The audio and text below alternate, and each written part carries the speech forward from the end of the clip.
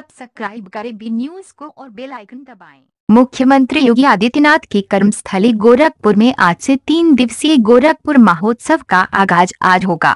सामाजिक, सांस्कृतिक और खेलकूद के बहुआयामी रंगों से सजे गोरखपुर महोत्सव का विधिवत आगाज़ गोरखपुर विश्वविद्यालय में होगा। तीन दिन तक चलने वाले इस उत्सव का उद्घाटन प्रदेश के राज्यपाल राम नाईक करेंगे। विश्वविद्यालय में बने मुख्य मंच पर महामहिम के साथ माननीयों की मौजूदगी, कलाकारों के हौसलों को पंख लगाएगी। सैफई महोत्सव की तर्ज पर गोरखपुर महोत्सव में बॉलीवुड के कई दिग्गज कलाकारों के साथ फोक गायकी के दिग्गज भी महोत्सव के मंच पर समाबंधते नज़र आएँगे। इसके साथ स्थानीय कलाकारों को सैफई महोत्सव की तर्ज पर अपनी प्रतिभा दिखाने का मौका मिलेगा। खेलकूद, संस्कृति और शैक्षणिक प्रतियोगिताएँ सुबह से ही शुरू हो गई हैं।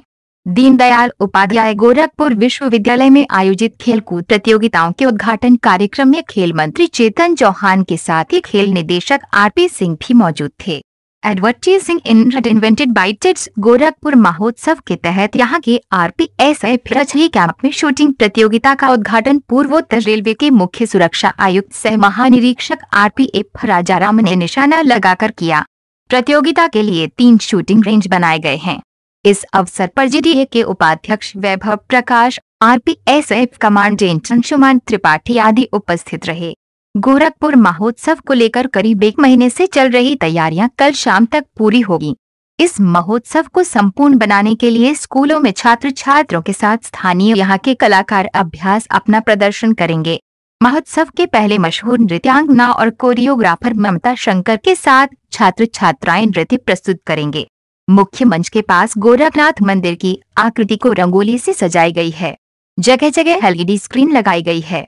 इसका समापन 13 जनवरी को प्रदेश के मुख्यमंत्री योगी आदित्यनाथ करेंगे। 11 से 13 जनवरी तक गोरखपुर महोत्सव। 11 से 13 जनवरी तक गोरखपुर विश्वविद्यालय में आयोजित होने वाले गोरखपुर महोत्सव का उद्घाटन प्रदेश के राज्यपाल राम नाईक करेंगे। वहीं महोत्सव का समापन सूबे के सीएम सीएम योगी आदित्यनाथ करेंगे। इसका समापन कार्यक्रम गोरखनाथ मंदिर के दिग्विजय नाथ सभागार में आयोजित किया जाएगा।